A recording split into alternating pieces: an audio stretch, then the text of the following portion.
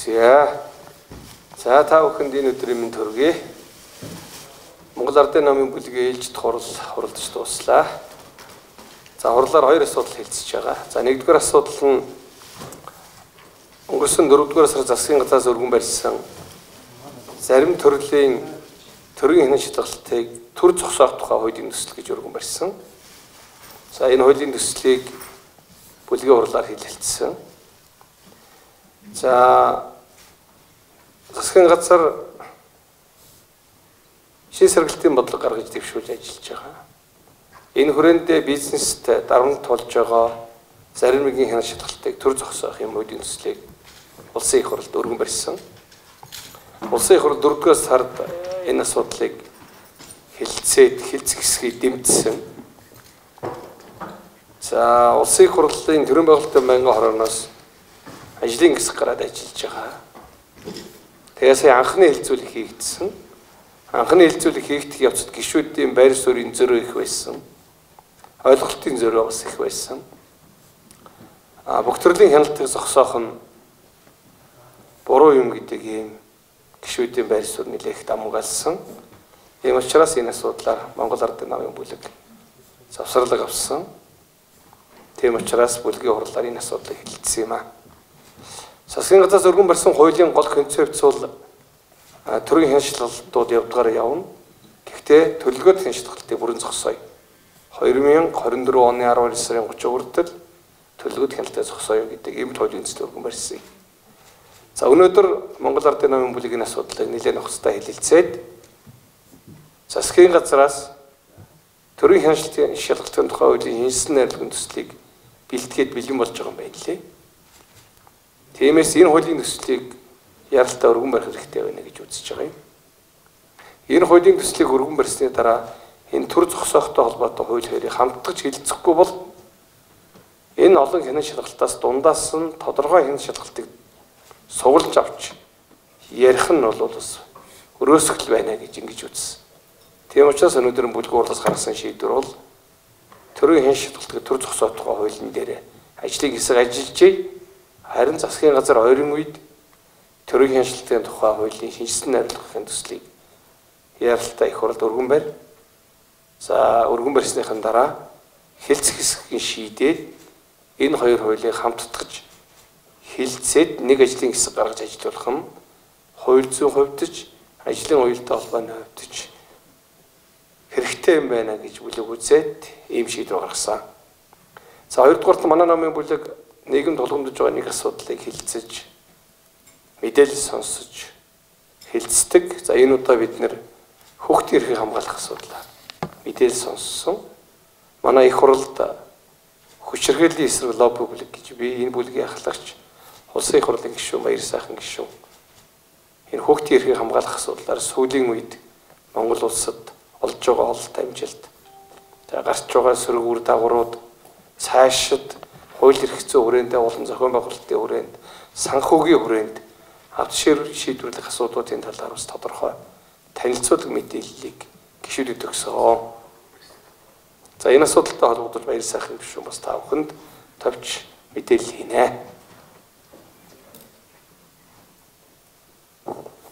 За та бүхэндээ баярлалаа. За Монгол Ардын нам хүний эрхийн эрх зүйн шинтгэлийг хийж олон одоо хууль тогтоомжуудад үнэлгээ шинжилгээ өгч бид нар ямар эрх зүйн орчныгоо шинжилэх юм, ямарыг сайжруулах гэдэг тал дээр ажиллаж байгаа.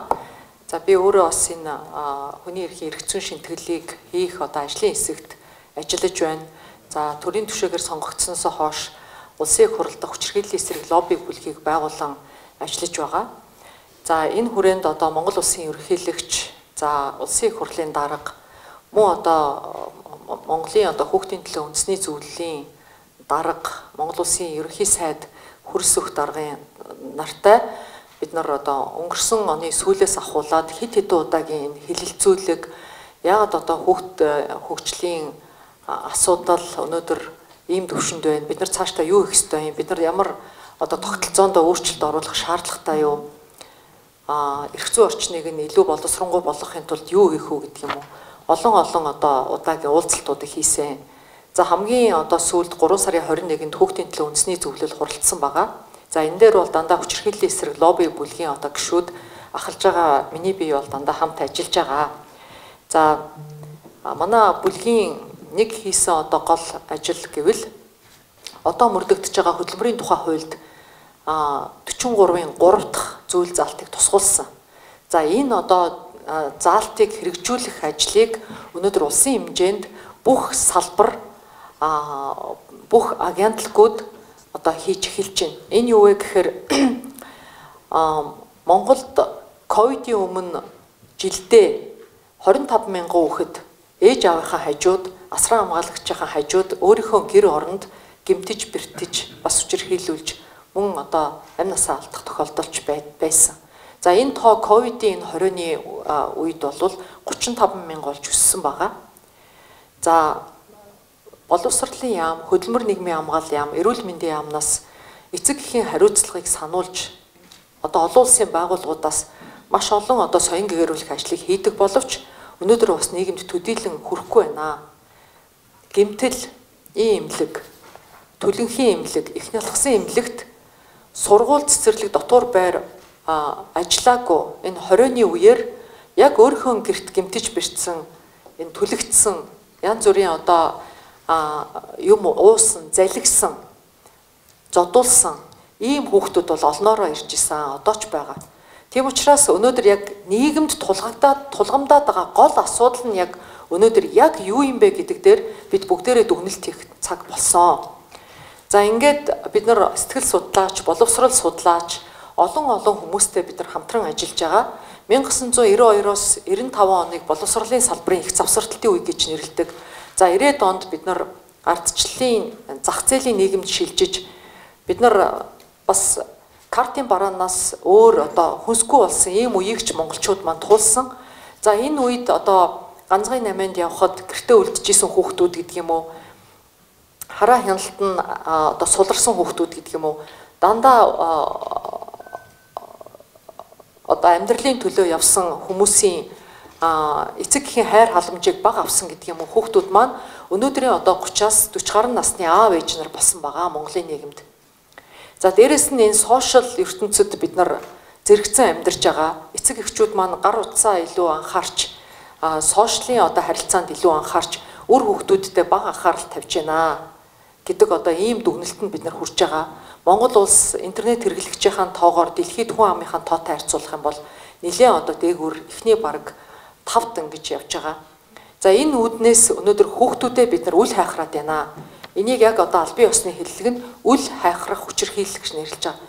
Тэгэхээр энэ жилдээ энэ ийм олноороо гэмтэж бэртэж байгаа 35 мянган хүүхдийн цаана хэн байна вэ гэхээр ээж аав нар маань хариуцлагагүй одоо асран хамгаалагч нар маань хариуцлагагүй байна гэж ингэж одоо үзэж байгаа.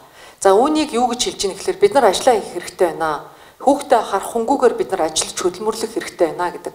Тийм учраас энэ 43-ын 3 дахь зүйл залтыг хөдөлмөрийн тухай хуульд анх удаа Монгол улсын хөдөлмөрийн тухай хуульд хүүхдийн талаар хүүхд хамгааллын талаар ингэж орж ирсэн байна. За энэ 43-ын 3 дахь залт одоо ямар чухал юм бэ гэж та нар манд бодож байгаа. Энэ юу вэ гэхлээр Монгол улсын нутаг дэвсгэр дээр үйл ажиллагаа явуулж байгаа аж ахуй нэгж байгууллага ажил олгогч болгон хүүхд хамгааллын бодлоготой байна гэж орж байгаа. Тэгээ энэ өнөөдөр энэ бүх яамдууд хилцүүлгээ яагаад хийгээд байгаа юм бэ гэхээр нэгдүгээр одоо жишээл жишээлбэл энд байгаа сэтгүүлчдийн маань редакцийн одоо удирдлагууд тийм ээ телевиз э, байгууллагын удирдлагууд та бүхний ажлын чанарт ажлын цагтаа чанартай ажиллаад ажлын бус цагаар үр хүүхдүүдтэйгээ хань ижилтэйгээ гэр бүлтэйгээ байх цагийг гаргаж өгөх ёстой гэж энэ 43-ын 3 дахь зүйл заалт хэлж байгаа юм. За ингээд өнөөдөр орой хүүхдүүдтэйгээ гэр бүлтэйгээ сайхан байсан ажилтан маргааш нэрээд тухайн байгууллагатаа өгөх ажлын үр бүтээмж нь өндөр байх юмаа гэдгийг бол хөгжилтэй орнуудын туршлага бол аль хэдийн баталсан байгаа. За нөгөө талаасаа хичнээн одоо энэ сошиалор, хичнээн нийгэм, хичнээн телевиз, радиогоор эцэг эхийн хариуцлага гэдгийг сурталчлаад сурталчлаад сонсохгүй байгаа аав ээж нар ажил олгогч нь буюу цалин өгдөг хүнээ илүү их сонсдог гэдэг нь бас нотлогдсон. Байгууллагууд янз янзын хөгжлийн сургалтууд хийдэг. Байгууллага хамт олонны одоо эв нэгдэл тухайн ажилтнуудынхаа хувь хүний хөгжил гэх мэт. Тэгвэл энэ 43 дугаар 43-ын 3 дахь зүйл заалтын хүрээнд ажил олгогч болгон жилээс жилд 2-оос доошгүй удаа хүүхдүүдтэй яаж хамгаалах юм яаж сайн аав байж чадах юм бэ яавал гэр бүл чинь бат бөх байх юм бэ гэсэн ийм соён гэгэрүүлэх ийм одоо сургалтуудыг хийх үүрэгтэй байгаа. За ингэснээрээ нөгөө win win буюу ажилтнууд нь тухайн ажилда доктортай ажилдаг, илүү сэтгэлдээ ажилдаг. За үүнээсээ одоо үүдээд э, Монгол улсын эдийн засгийн нийгмийн харилцаанд хүртэл эрэг үр дүн гарна. Хамгийн гол нь ээж автагаа цуг үр хүүхдүүд нь хамт байдаг, ээж аавынхаа анхаарлын төвд байдаг ийм одоо боломж ирснээрээ гэртээ гэмтэж бэртэж байгаа энэ хүүхдүүдийн тоо цөөрч бид нар 100 одоо жилээ 3 жилийн дараа тэмдэглэх гэж байна. Монгол улсын улсад хүүхдийн байгууллага үүсч хүрчсний 100 жилийн ой болно. Энэ одоо 100 жилийн ойг бид нар ийм нин мэтийн үр дүнтэй ажлуудыг маш шуурхай хийж хэрэгжүүлж 100 жилийн бас хүчирхийлэлгүй үндэстэн хүүхдэд хайрладаг ийм үндэстэн улс үндэстэн байхаар ингэж зорж байгаа маа. Тийм учраас төрийн 3 өндөрлөгийн хэмжээнд Монгол Ардын намын бүлгийн хэмжээнд за энэ бүлгийн одоо гишүүдийн хэмжээнд энэ асуудал дээр бас онцгой анхаарч ажиллаж байгаа. За хурал цуглаан уриалга төдий энэ ажил бол явахгүй. Өнөөдөр яамдууд сэтгүүлчд манаас завтаа бол энэ яамдууд дээр хийж байгаа хэлцүүлэгт очиороо за энэ дээр бид нар одоо ямар зүйлийг нин даруй хийх гэж юм ихлээр нэгдүгээр төрөний 43-ын 3 дахь зүйл залтыг байгууллагынхаа ялангуяа за би эрүүл мэндийн яамнаас жишээ авъя. Эрүүл мэндийн салбарын одоо ажилтнуудаа а энэ хүүхд хамгааллын бодлогыг хэрэгжүүлэх энэ бодлогоо шийдвэрээ эрүүл мэндийн сайд төрийн нарийн бичгийн дарга нь гаргаад ингээд эрүүл мэндийн салбарын нийт ажилтан албан хаагчдаа цагтаа нартаа ажилуулдаг байх. За эргүүлээд тэр одоо ажилтнуудынхаа ард байгаа гэр бүл үр хүүхдүүдийг хамгаалдаг байх. За нэгдүгээрт нь а хоёрдугаарт нь эрүүл мэндийн салбарын ерөөсөө номер 1 ажил нь хүүхэд хамгааллын бодлого байх юм а гэсэн. Ийм одоо зорилтын дагуу ажиллаж байгаа. Жишээлбэл уул уурхайн салбар Уул уурхайн салбар хизээч баг хүүхдийн тухай дуугарч байгаагүй. Гэтэл одоо уул уурхайн салбарын хүүхдийн хилцүүлэг болох гэж байна. За уул уурхайн салбар уул уурхайн салбарт ажиллаж байгаа ажилтнуудынхаа хариуцлагатай хүчирхийлэлгүй гэр бүлтэй байх энэ нөхцөлийг нь бүрдүүлэхээс гадна уул уурхайн одоо бүтээн байгуулалт олборлолт хийж байгаа газар хүүхэд эндэх ёсгүй, хүүхэд айх ёсгүй, амар тайван байх ёстой гэдэг бодлого нь номер 1 байх ёстой маа гэдэг энэ бодлогоо гаргаж байгаа бүгд адилхан эрчим хүчний салбарын хилцүүлэгэнд миний би өөрөө очисон. Бид нар тогонд одоо гадаа тоглож исэн хүүхэд тогон захиулж нас барсныг бас санаж байгаа. Тэгэхээр захилгаанчин эрчим хүчний салбарын мэрэгжилтнүүд тэр манчурууд ажлаа ёс зүйтэй хийж миний ажил хийж байгаа газар хүүхэд эндэх ёсгүй, ил утас байх ёсгүй гэдэг нь манай эрчим хүчний салбарын номер 1 бодлого байх ёстой маа гэд. Ингээд хүүхдийн төлөө үндэсний зөвлөлд бүх одоо яамдын төрийн нарийн бичгийн дарга дид сайд нар ордог, агентлагийн дарга нар ордог, шүүх прокурор цагдаагийн байгууллагын удирдлагууд ордог, олон улсын байгууллагын байгууллагууд ордог, Монголд бас итгэмжтэй үйл ажиллагаа явуулдаг төрийн бас байгууллагуудын төлөөлөл ордог.